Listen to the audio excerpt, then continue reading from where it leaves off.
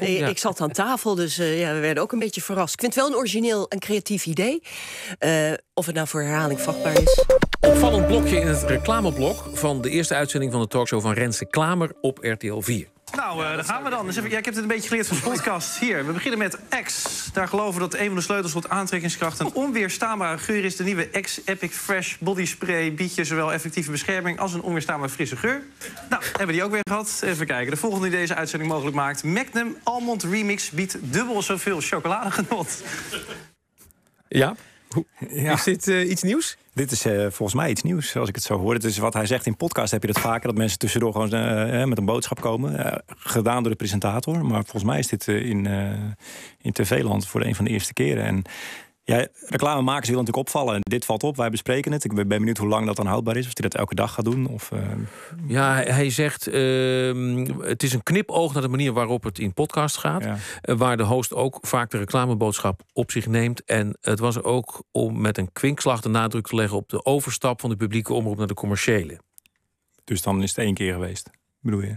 Ja, dat weet ik niet of het hierbij blijft. Maar nou ja, dit is een beetje waarom hij het gisteren deed. Ja, ja nee, het is, uh, het is opmerkelijk. Ja, Marcella zat ja, ik, eh, ik ja, zat jij zat aan tafel. Ik, ik zat aan tafel, dus uh, ja, we werden ook een beetje verrast. Ik vind het wel een origineel en creatief idee.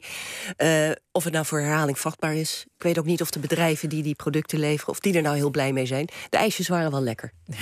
oh, jullie kregen allemaal zo'n uh, gesponsord ja. ijsje. Ja. nee, maar in de podcastwereld gebeurt dit dus al meer. Dat is ja. de manier om het even tussendoor uh, te noemen. Dat is ook, ja, vaak moet je dan je eigen broek ophouden met podcasts en zo. Dus dan moet je ook geld verdienen. Dus dan is het ook iets meer geaccepteerd. Van, nou ja, dat is dan die kleine podcastmaker, die, uh, die moet ook geld verdienen. Volgens mij is het, is het echt gewoon als, als gebbetje inderdaad bedoeld... vanwege de overstap. Hij zei aan het begin van de uitzending...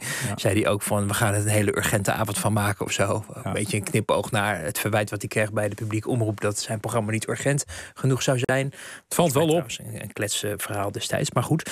Um, maar wat ik zelf heb begrepen in ons eigen bedrijf... want wij maken dus ook podcast... is dat, wat vroeg ik ook wel eens, hoe zit dat eigenlijk met die reclame? En toen, toen is mij verteld van ja, als, het schijnt zo te zijn... dat als de, de, de host de, de boodschap uitspreekt... dus iets anders dan dat je een reclamespotje laat horen... dat mensen er, en ook adverteerders, er meer waarde aan hechten. Wij doen dat overigens niet, maar Maar uh, tenminste, ik doe dat niet. Maar uh, je, je, merkt in, in die advertentiewereld kennelijk dat mensen denken: dan willen wij nog meer betalen als een hmm. bekend persoon die boodschap voor ons uitspreekt. Ja. Zeker als diegene de host is of de, de vaste gast. Ja, het hangt ook een beetje van de heel toon af, te knikken. Klopt, ja, klopt. Het is ook waarom gokbedrijven niet meer. Uh, ja. de, de bekende presentatoren mogen dat niet meer noemen, bijvoorbeeld. Nee, precies. Oké. Okay. Dank voor jullie aanwezigheid in het Mediaforum. Jaar van Zessen van het AD en Wouter de Winter natuurlijk van de Telegraaf. Mis niks van het laatste nieuws met de NPO Radio. Radio 1-app. Download hem nu. Wie luistert, weet meer.